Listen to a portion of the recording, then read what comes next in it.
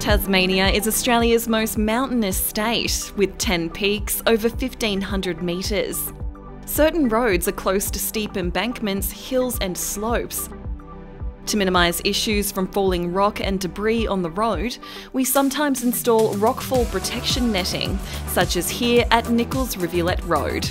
We're installing a drape mesh because this location has issues with rock falling on the road, which is a danger for drivers. Installing rockfall protection netting is a precision job.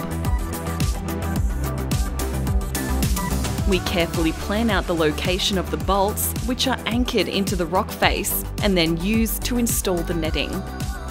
At the top, every three metres, we install an anchor, and at the bottom is every six metres. The netting is made from strong materials such as steel wires or synthetic materials.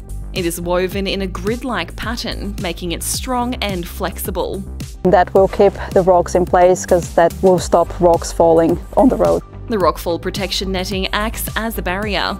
The nets are not designed to catch rocks completely, but to safely redirect them to the bottom of the slope.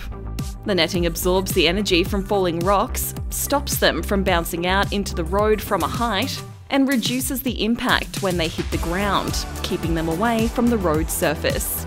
Our maintenance crews then remove the fallen rocks as a part of their regular inspections. Rockfall protection netting can be a cost effective solution to reduce certain types of rockfall hazards.